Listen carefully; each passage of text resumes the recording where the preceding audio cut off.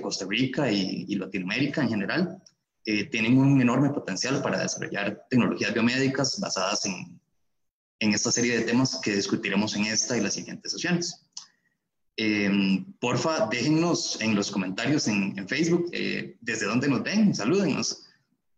Y también no duden en formular cualquier pregunta que tengan. Al final del webinar eh, responderemos sus consultas. Muy bien. Voy a acomodarme aquí un segundo nada más y creo que ya podemos comenzar.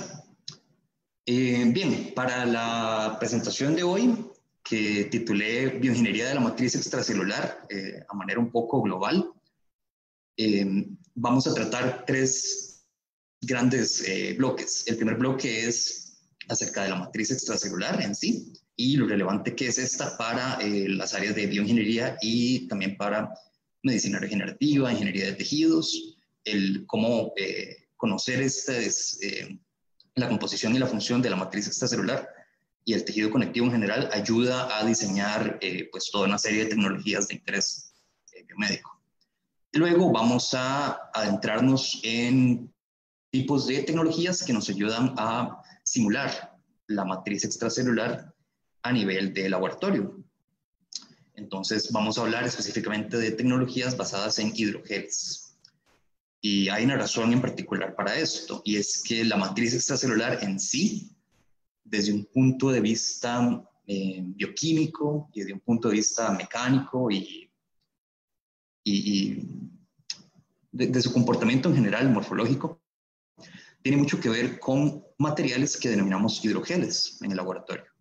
Entonces, eh, durante la charla quisiera discutir acerca de qué tecnologías de hidrogeles conocemos, cómo las caracterizamos y estudiamos y algunas aplicaciones de estas en eh, cultivo celular y algunas tecnologías en, en vivo.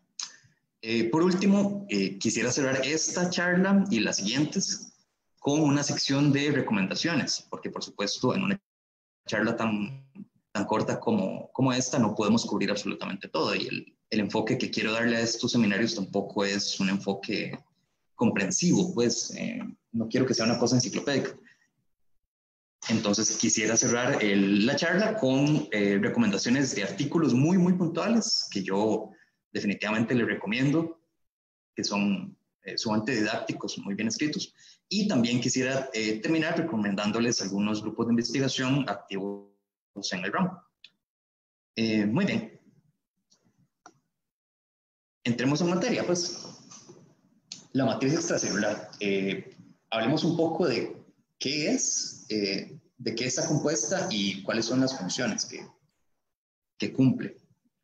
La matriz extracelular es básicamente el, todo el entramado en el cual están eh, embebidas las células. Es decir, uno siempre en, tradicionalmente en sus cursos de biología o bioquímica o medicina, siempre piensa en, en la célula como pegada a otras células, formando tejidos, pero rara vez se pone a pensar dónde es que están depositadas esas células, eh, cómo es que esos tejidos se mantienen eh, verdaderamente unidos entre sí, porque por supuesto que tiene que haber un, algún tipo de andamiaje donde crezcan las células, donde esté alojado el, el, el, órgano en cuestión, llamémosle por ejemplo la piel o tejido nervioso o médula ósea, por ejemplo. Todos, todos estos em, ecosistemas celulares eh, están en un escenario y ese escenario es la matriz extracelular. Eh, por supuesto que la matriz extracelular, eh, estamos hablando animal y em, esta charla se va a enfocar en en matriz extracelular humano, por supuesto, aunque muchos mamíferos superiores comparten muchas de estas características con nosotros. El, emular la composición de la matriz extracelular nuestra, y no solo la composición, sino la funcionalidad y la manera en que ésta se estructura, es uno de los grandes retos actuales en el campo de la bioingeniería. Y, por ejemplo, para ingeniería de tejidos, cuando queramos hacer eh, algún cultivo de células para emular, qué sé yo, hacer algún modelo para cáncer pancreático, por ejemplo, cáncer de seno, etcétera, o si quisiéramos probar un nuevo medicamento en hepatocitos, eh, la manera en que nosotros creemos ese modelo en el laboratorio, eh, pues determinará la, la, efectividad del ensayo. Y no podemos empezar a crear modelos in vitro si no conocemos bien la, estructura de, la matriz extracelular, dónde ponemos a, crecer nuestras células, ya sea en, un organismo como nosotros o bien en, un, en el laboratorio, en un chip de, silicona, por ejemplo, o en una botella de, cultivo de células. La matriz extracelular es, es un entramado complejísimo eh, desde el punto de vista eh, morfológico y bioquímico y está compuesto de cientos, eh, si no miles, de proteínas, en su mayoría, pero también, aparte de proteínas, tenemos una serie de polisacáridos y em, agregados que se conocen como proteoglicanos. Entonces pensemos que esos proteoglicanos lo que son son, son básicamente híbridos, eh, ya sea covalentes o no covalentes, entre un esqueleto de un polipéptido y una serie de polisacáridos que se le unen también. Quizás empecemos por los componentes eh, proteicos. El, principal componente de la matriz extracelular eh, nuestra es el colágeno. Y de todas las variedades de colágeno que, que conocemos, pues algunas están presentes en ciertos tipos de tejidos o en diferentes concentraciones o en diferentes gradientes también. Por supuesto que hay otras proteínas que las células eh, producen, que constituyen la matriz extracelular en sí, que eh, son proteínas de adhesión. Entonces, que son proteínas que están extracelulares, eh, conformando parte de esta matriz extracelular, pero que tienen algo así como mensajes químicos para que otras células los reconozcan y se adhieran a esa matriz entonces, eh, existen de nuevo muchas isoformas de una proteína que se llama fibronectina. Y de esta fibronectina conocemos eh, algunas regiones o algunos eh, motivos que son particularmente mm, casi que universales en, cuanto a la señal que indican. Y, por ejemplo, regiones como una secuencia que se conoce como RGDS o RGD, sabemos que está presente en la fibronectina y es básicamente lo que le dice a las células que se unan a la matriz extracelular vía unas proteínas de adhesión que se llaman integrinas. Esas integrinas eh, se unen a la fibronectina y son las que mantienen, eh, bueno, una de las muchas que mantienen a las células unidas a la matriz extracelular. También hay otra proteína de adhesión que se llama laminina. De nuevo, esta eh, presenta otras, lo que llamamos epitopos, que le dicen a la célula, por favor, únase o manténgase unida a esta matriz en particular. Por ejemplo, IKVAB es, es un motivo que se toma de la laminina y es sumamente útil para diferenciación de tejido nervioso, por ejemplo. También hay muchísimas otras eh, glicoproteínas que tienen un carácter de adhesión. Eh, existe toda una, unas 20 proteínas de esas.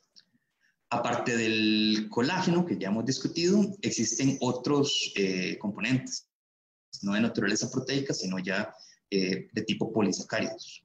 El principal, y digo el principal porque es quizás el de mayor peso molecular en la matriz extracelular, en esta familia, es el que conocemos como ácido hialurónico, que quizás hayan escuchado en, en algunas formulaciones cosméticas o algunas cremas, por ejemplo, eh, de belleza. El ácido hialurónico es un heteropolisacárido, de hecho, y tiene, la capacidad de cargarse de forma negativa y de forma positiva también. O sea, está hecho de, residuos de, de, monosacáridos que se pueden cargar con un carboxilo o con un amino, dependiendo de, de las enzimas que lo modulen. Entonces, ese hialuronano ayuda a que otros proteoglicanos se unan a, a, él.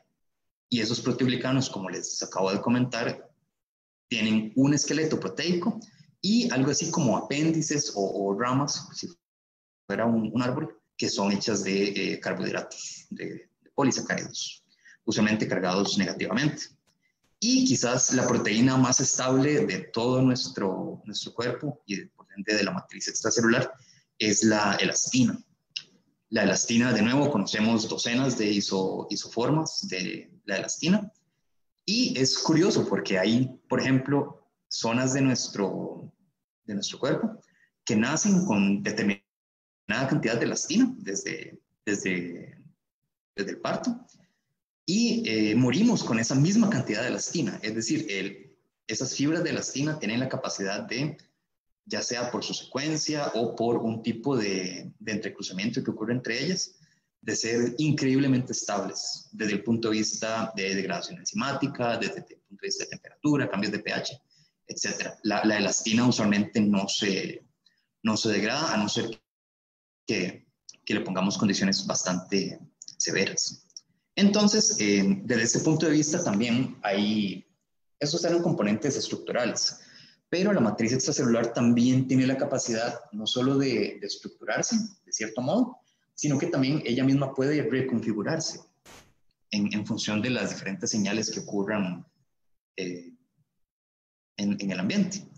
Ya sea que una célula decida modificar la matriz o decida migrar a través de ella, ya sea que haya que mejorar el flujo de, de intercambio de gases o de desechos, entonces la matriz puede hacerse más o menos porosa en cuanto esta pueda degradarse mediante enzimas que llamamos proteasas.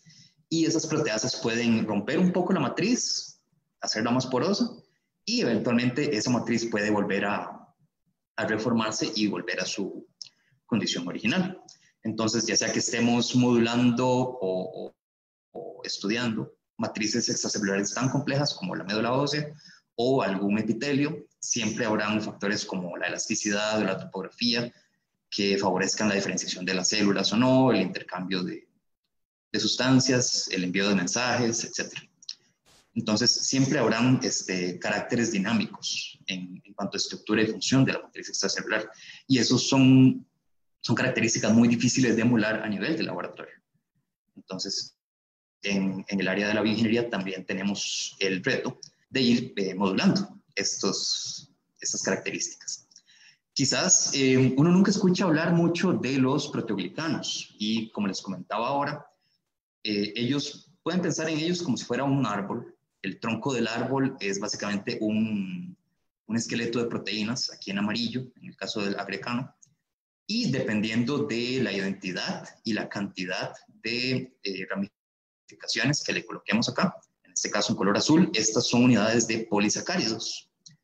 Usualmente son polisacáridos cargados negativamente, como el condritin sulfato o el dermatan sulfato, etc. Entonces, estos eh, proteoglicanos tienen la capacidad de eh, estar en diferentes zonas de la matriz, ya sea a nivel extracelular, secretados, ya sea a nivel pericelular, sumamente cerca de la matriz, eh, ya sean metidos dentro de la membrana celular, algo así como mediando la comunicación entre, entre la célula y la matriz extracelular, o bien a nivel interno. También los proteoglicanos son sumamente versátiles. Y eh, como les comentaba, dependiendo de la identidad, ya sea, por ejemplo, en el caso del agrecano, estamos aquí viendo de primero, todos estos eh, proteoglicanos lo que hacen es básicamente servir de anclaje a la célula. Entonces, eh, la célula se ancla, en este caso, a una cadena de ácido hialurónico o de hialuronano. Y ese anclaje se da mediante esos proteoglicanos. Como les digo, son mediadores para que toda la matriz se mantenga unida a las células. Eh, también hay una serie de, de motivos eh, particulares o de isoformas, por ejemplo, este colágeno 28, que se une al, al sulfato, por ejemplo, y está, eh, se encuentra en mayor medida en las membranas eh, basales. Eh, también, como les decía, hay proteoglicanos que se encuentran anclados a la membrana celular y presentan algún dominio transmembrana y luego en la superficie ya a nivel celular afuera se decora con diferentes cantidades de, de, de polisacáridos.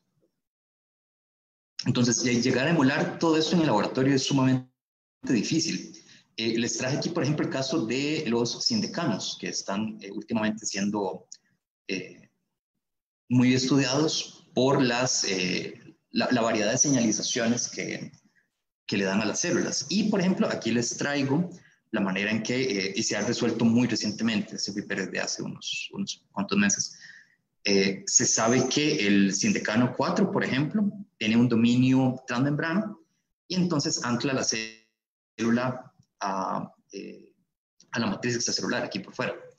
Y se sabe que ese sindecano lo que hace es una transducción de, de, los esfuerzos mecánicos que ocurren fuera de la célula con la manera en que responde la célula por dentro.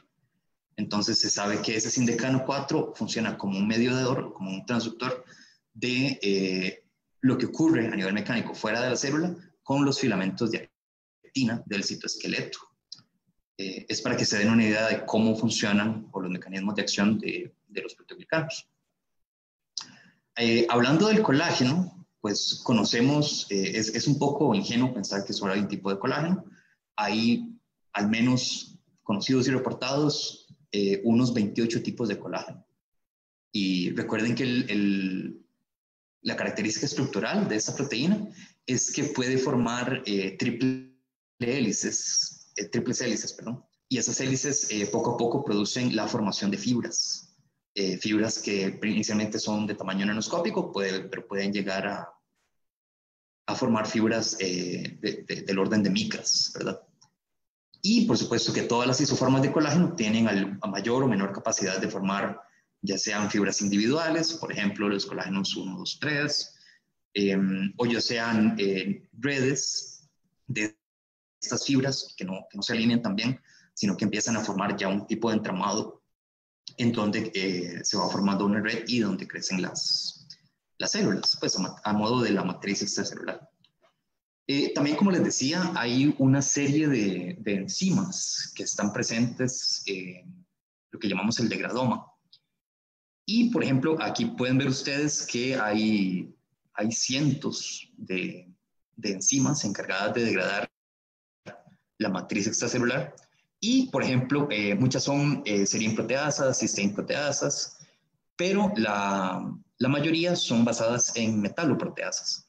Entonces tienen un sitio activo donde hay cofactor de zinc y esas metaloproteasas lo que hacen se conocen como MMPs o MMPs y esas metaloproteasas de matriz eh, colaboran a reconfigurar, a degradar y luego la, la matriz se reconstituye de un nuevo modo, pero es parte del carácter dinámico que tenemos a la hora de estudiar la matriz extracelular, si es que la quisiéramos emular en el laboratorio.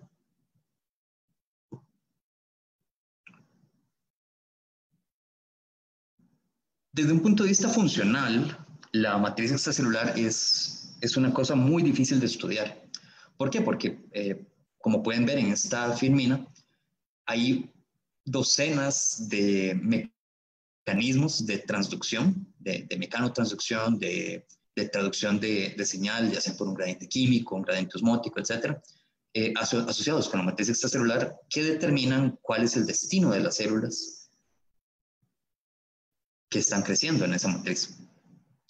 Entonces, eh, la matriz extracelular no solo es un escenario en sí, como una cosa pasiva, donde están las células, sino que es, es un actor eh, importante como la célula misma a la hora de estudiar alguna patología.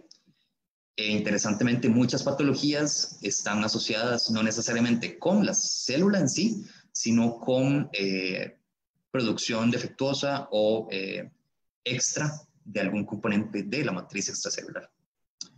Por ejemplo, aquí les traigo un review de cómo diferentes señalizaciones de colágeno, fibronectina, la afectan eh, mecanismos de, de, transducción de señal intracelular y estos eh, factores están asociados al cáncer, porque el, el que una célula desarrolle o, se vuelva tumoral no quiere decir que deba hacer metástasis. La, la migración de esa célula enferma o defectuosa estará determinada por la matriz extracelular donde esté creciendo y factores como la eh, dureza de esa matriz favorecen el desarrollo de tumores, por ejemplo, inicialmente. Mientras, por ejemplo, que eh, si esa célula que ya está haciendo metástasis se aloja en un tejido muy suave, como por ejemplo en, en, adipocitos o en, tejidos que son más suaves de lo que deberían, eh, el cáncer empieza a crecer más fácilmente ahí. Entonces son, son una serie de factores que todavía es muy complejo, todavía está estudiándose, pero ahí eh, hay que tener en cuenta todas estas interacciones entre la matriz extracelular y el, el, desarrollo de tumores. Y aquí hay un gran potencial a nivel de, de modelos en el laboratorio para poder diferenciar, eh, o por ejemplo, para estudiar drogas, eh, en, algo así como medicina personalizada. Ya, ya vamos a entrar en, en eso. En fin, vean que la, la matriz extracelular, el mensaje aquí es que es un actor, es, es, es más que un escenario, es, es un actor clave de, de los procesos metabólicos y de las patologías en muchos casos. La matriz extracelular, como pueden ver en estas ilustraciones, es fibrosa. Es, pueden pensar en ella como un plato de, de un chop suey, un, plato de espagueti, en donde la identidad de todas esas fibras que ya vimos que son proteoglicanos, proteínas, eh, metaloproteasas, etcétera, todo ese carácter fibrilar, ese entramado, es donde, donde van a alojarse las células y es lo que va a darles la, el,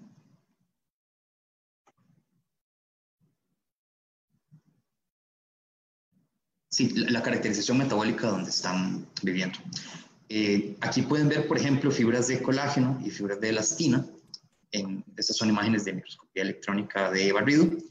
Y aquí, bueno, pueden ver las, las diferentes escalas, ¿verdad? Aquí lo que tenemos son fibras de colágeno, de unos, aquí el scale bar es de unos 200 nanómetros, y aquí tenemos eh, una red de laminina de, de, unas 5 micras, en este caso.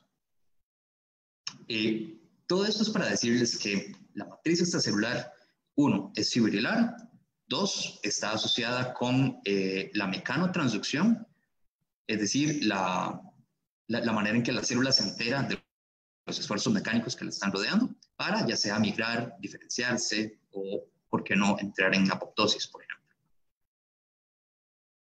El, tercer punto acá es que hay una serie de factores de crecimiento que están asociadas en la matriz extracelular y que eh, no están, en muchos de los casos están solubles, pero en muchos de los casos también están unidos o constituyen la matriz extracelular en sí.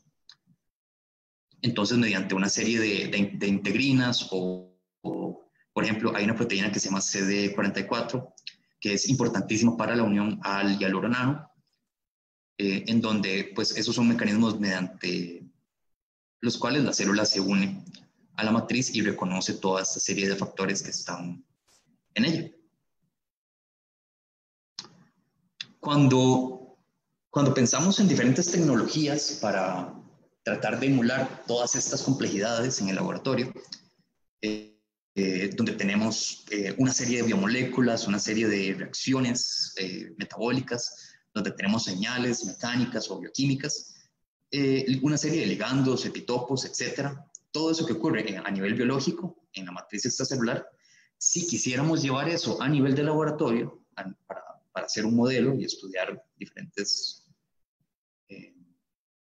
propiedades de las células, pues en diferentes cultivos, tenemos que tener en cuenta todo eso, la, diferente porosidad, el diferente grado de intercruzamiento, la permeabilidad de los gases, la motilidad de las células adentro.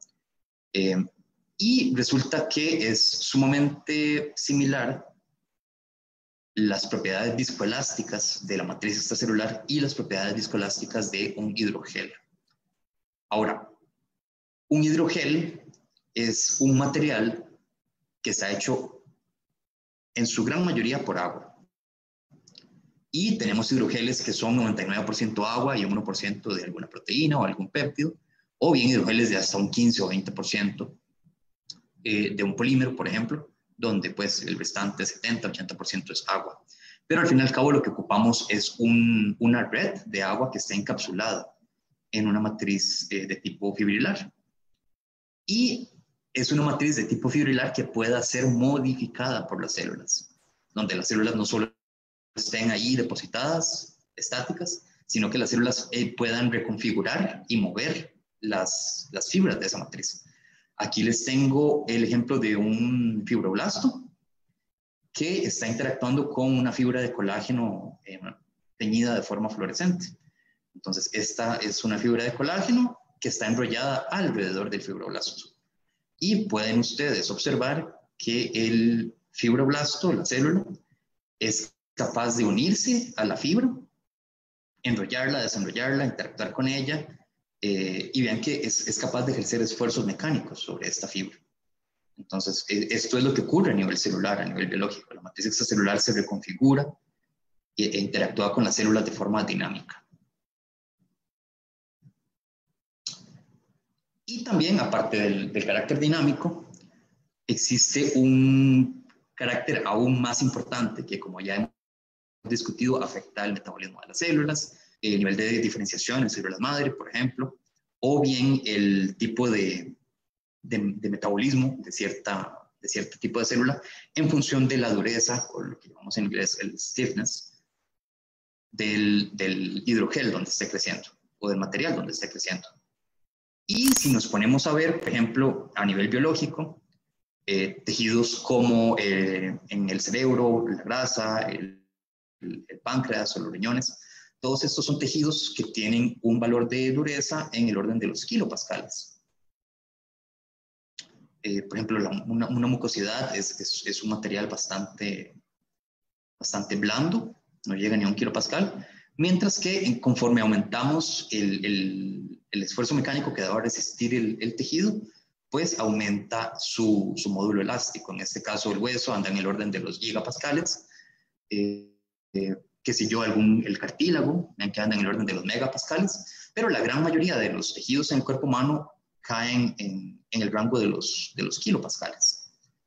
Es curioso, pues, entonces, que nosotros cultivamos células en el laboratorio en una botella de poliestireno, por ejemplo, cuyo módulo elástico es de un megapascal, es, es unas eh, mil veces más, más fuerte de lo que debería ser a nivel biológico.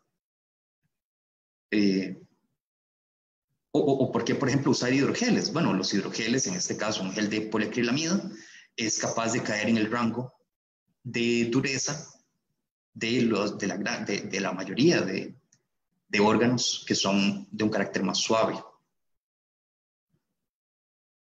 De ahí la importancia de la tecnología de hidrogeles. Con un hidrogel yo puedo también modular, eh, dependiendo del grado de entrecruzamiento o la concentración del gelificante, yo puedo modular y decir qué tan duro quiero que sea mi gel en función de las, de las células.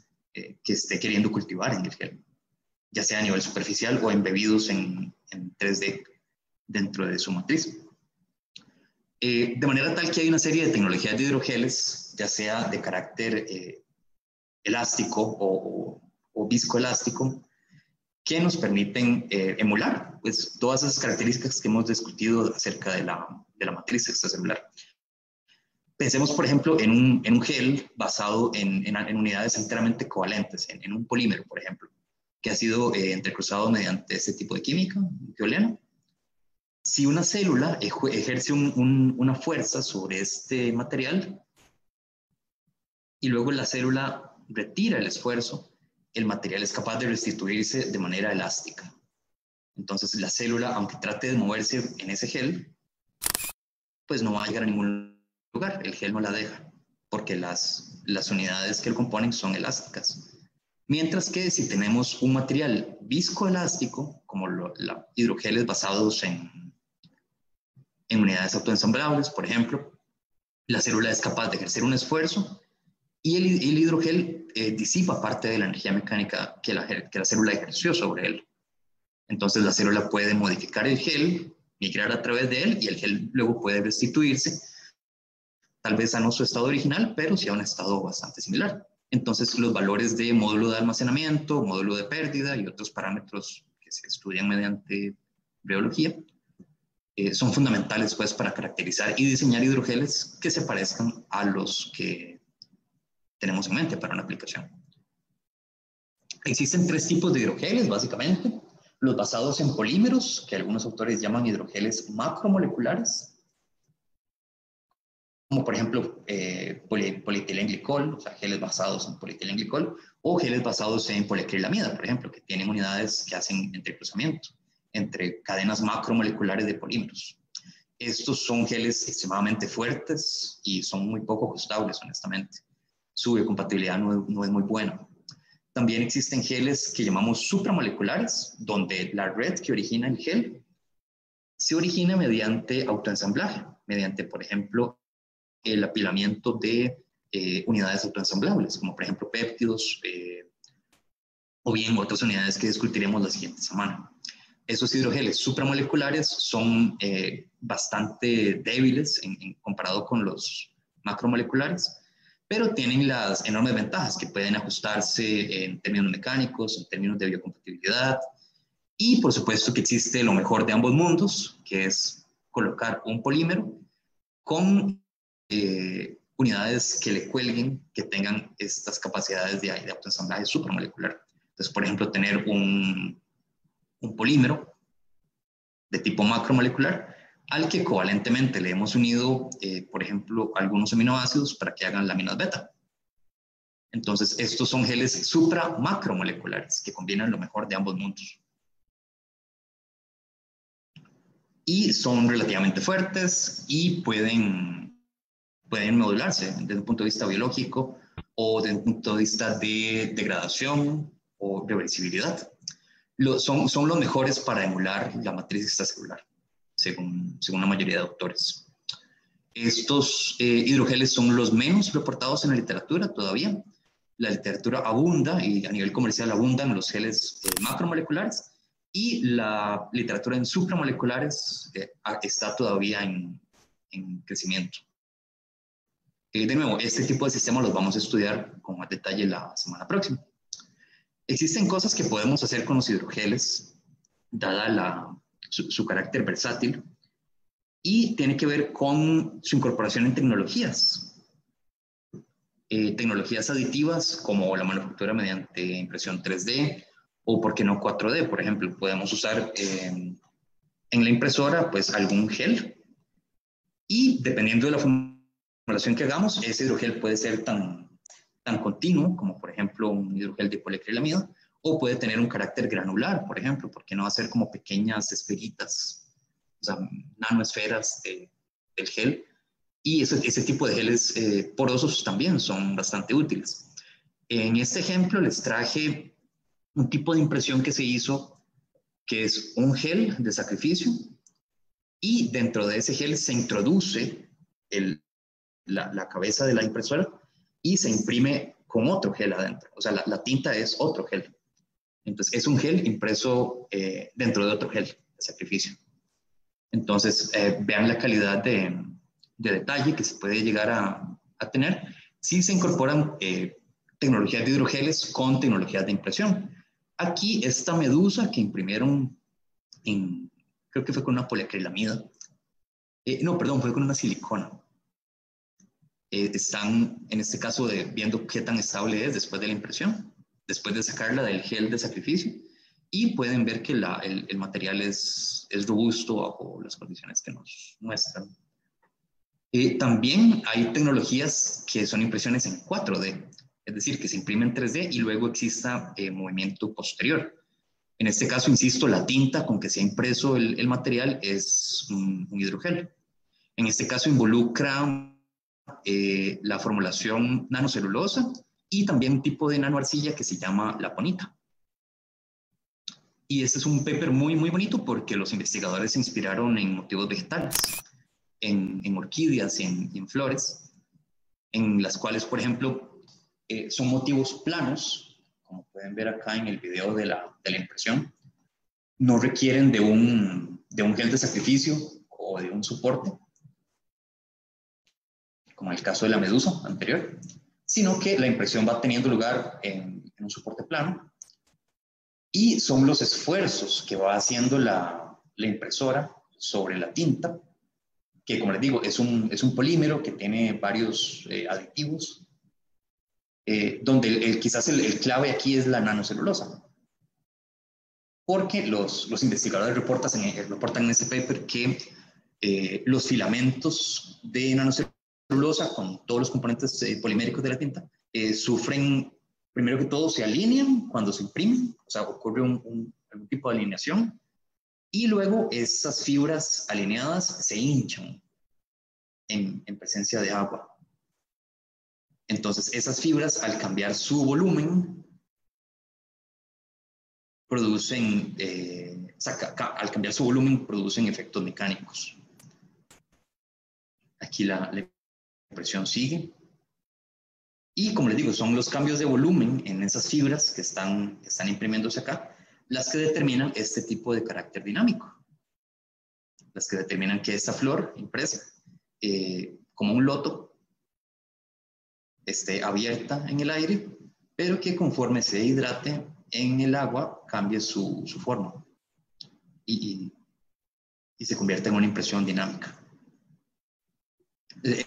Es, el tipo de cosas a las cuales se están migrando las, las tecnologías de hidrogeles. Como les digo, ustedes pueden eh, hacer todas este tipo de, de, tecnologías aditivas, formar este tipo de constructos eh, que puedan moverse y cultivar células ya sea en la superficie de los geles o bien usarlas como una biotinta e incorporar las células a la hora de la impresión misma dentro del gel, en una matriz ya en 3D. Eh, ya sea que lo hagan en, un cultivo superficial sobre los hidrogeles o bien en bebidas dentro de la matriz del gel. Eh, hay una serie de materiales que ustedes pueden escoger a nivel comercial. Hay alginatos, colágenos, ácidos hialurónicos, etcétera, que ustedes pueden eh, comprar, modificar en su laboratorio y luego colocar eh, en, en, presencia de las células. ya para ir cerrando, les traje algunos ejemplos de materiales comerciales. El quizás el, más importante o el más usado, pero también bastante controversial, es el que se llama Matrigel o Matrigel. Eh, también, por supuesto, existen abundantes eh, variedades de alginatos y, hidrogeles basados en fibrinas para eh, tecnologías de cultivo celular. También existen, esta compañía suiza, por ejemplo, tiene un producto que se llama QGel, donde venden ya como microtubos con el gelificante liofilizado. Entonces, esta empresa vende la tecnología para eh, dispensar dentro del tubo eh, unas células tomadas, por ejemplo, de un paciente con, un tumor y en diferentes pozos, o sea, en diferentes tubitos, ir formulando eh, diferentes microgeles, ir formando esferoides de gel, por ejemplo, y en cada uno de los tubitos probar un medicamento diferente. Esto ya se orienta hacia medicina personalizada. Em, bien, esas son diferentes tintas, pues. Como les digo, existen diferentes mecanismos eh, y, ya para finalizar, les traje, por ejemplo, eh, hidrogeles supramoleculares, o sea, del tercer tipo, que están todavía en investigación, pero que ya sea mediante interacciones eh, electrostáticas, mediante iones, o ya sea mediante la formación de puentes de hidrógeno, puedan ustedes, por ejemplo, cortar el gel en dos y luego eh, unirlo y esto, eh, que, el, hidrogel sane también, algo que se llama self-healing. O ya sea mediante, por ejemplo, interacciones eh, hospedero-huésped, que también vamos a discutir pronto.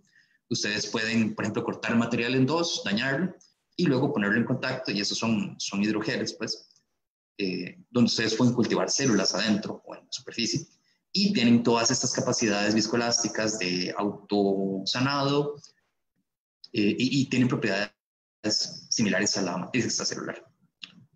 Eh, para terminar, quisiera recomendarles algunos artículos, algunos grupos de investigación. Y esto quizás lo puedan ver con más detalle después, porque esta presentación va a quedar disponible en el sitio de, del ciclo, en Facebook.